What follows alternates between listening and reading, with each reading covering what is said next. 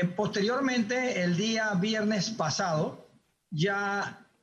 llegamos a un acuerdo con la contrapropuesta del Ministerio de Educación, consistente en una partida de 1.800.000 dólares que están dirigidos hacia las escuelas que están en las áreas más difíciles y las que tienen problemas económicos más fuertes.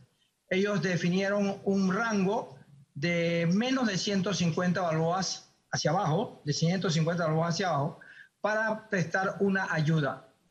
La ayuda del Ministerio de Educación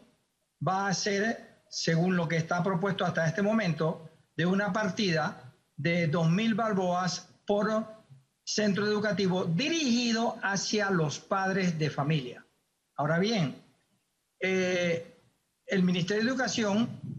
sí está en acuerdo con el MEF de que esa partida debe ser para ayudar a los padres de familia que tienen problemas de morosidad. Ellos